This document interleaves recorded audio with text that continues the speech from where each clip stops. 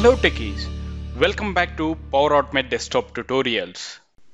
In the previous tutorial, we have learned how to insert a new worksheet into the Excel by using add new worksheet Excel action.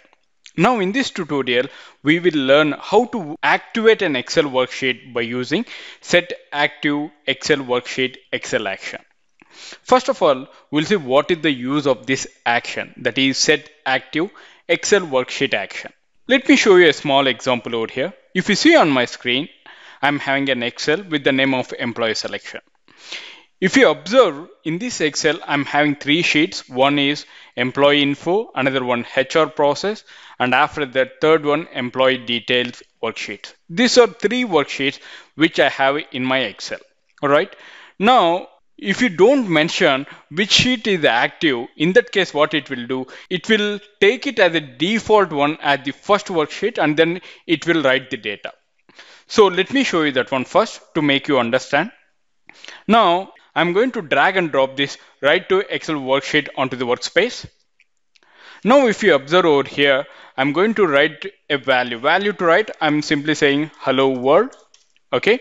And over here if you see write more on the specified cell I'm going to give it. And then the column I'm going to give it as A and the row I'm going to give it as 5 so what it will do irrespective of the active worksheet whatever the first worksheet you have it will write the data over there.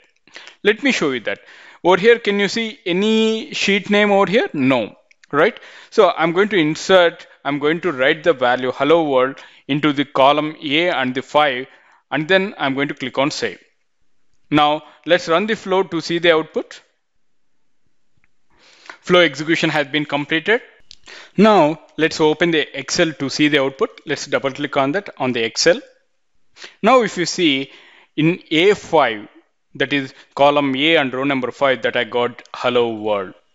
Alright, but if you see over here, irrespective of that, let assume if I want to go for the HR process, then how can I add the value in the H5? Or if I want the, you know, if I want to write the data in the sheet one that is employee info with the name of that, in that case, how can I go ahead and do that?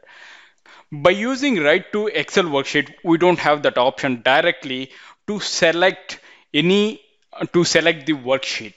All right now how can we go ahead and do that?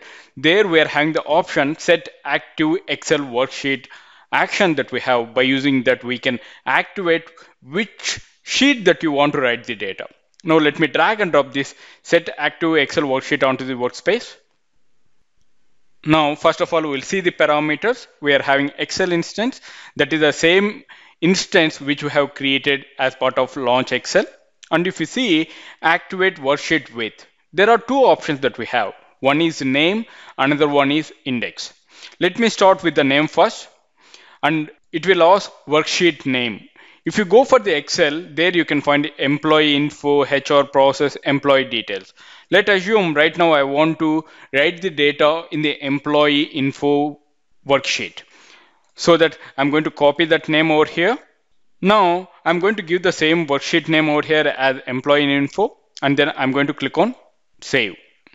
Now, by using this flow, what it has to do, it has to write the data in the employee info in the column A and row 5. It has to write over here. Right.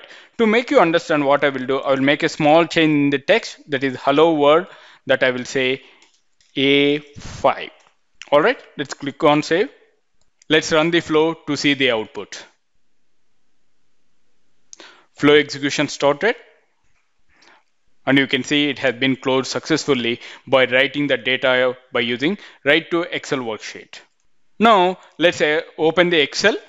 Now if you see over here in the column A and row 5 that hello world A5 has been written successfully.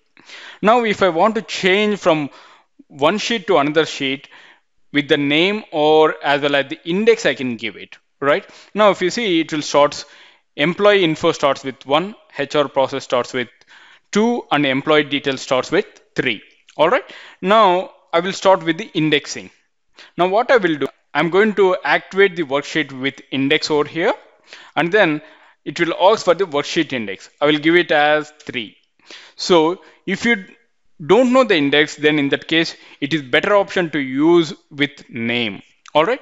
Now over here, what I'm going to do, I'm going to use worksheet index as three, and then I'm going to click on save. Now what will happen? It will write the data in hello world A5 over here. All right, let's run the flow to see the output. Flow execution started and also it has been written successfully in the Excel. Now let me switch to Excel once again to see the output over here. Let me go to Excel over here. And if you see, I'm right now in the employee info, right? Let me go to employee details. That is index three, one, two, three, index three, right? And you can see the data over here as hello world A5. All right.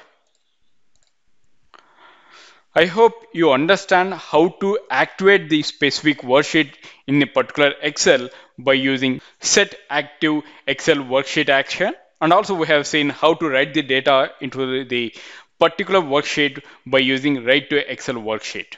Thank you for watching Power Automate tutorials. If you have any queries related to this concept, please post them in the comment section. I will see you in the next session. Till then, bye-bye. Have a wonderful day.